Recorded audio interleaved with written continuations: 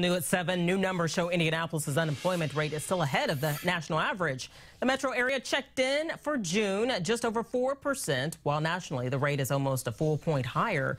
But even so, that means more than 40,000 local residents are still without a job.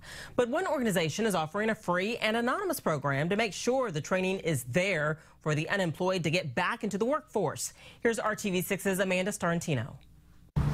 All you need is a few hours of your time to spend at the public library and you can get hands-on one-on-one job seeking help. And it doesn't even cost you a thing except you might just get a job out of it. Here's how it works. The TCU Foundation Job Center at the library is open three days a week. The center provides lab assistance to help you with job searching, writing a resume, practicing job interviews, and narrowing down the process of applying for a position. There's free access to computers, internet, flash drives, and anything else you might need in your job search.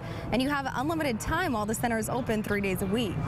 They don't have to answer any questions about who they are or what they're looking for. They get a chance to just sit down. They don't have to go through screenings or sign up for any trainings. They can just come in and get the help they need without feeling pressured to give them any information about what they are here for.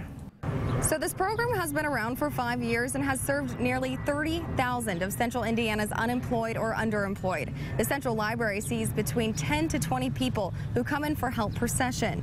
All the funding comes from the TCU Foundation as well as the Library Foundation. You might be thinking, so what's the catch? Well, the library tells me that they hope by providing this local need of the tools and education needed to get a job, it will help create a more productive community and a better economy right here in central Indiana. Reporting in Indianapolis, Amanda Starrantino, RTV6. There are nine locations throughout Marion County with the Job Center services. You can find all their hours and locations on our website at theindychannel.com.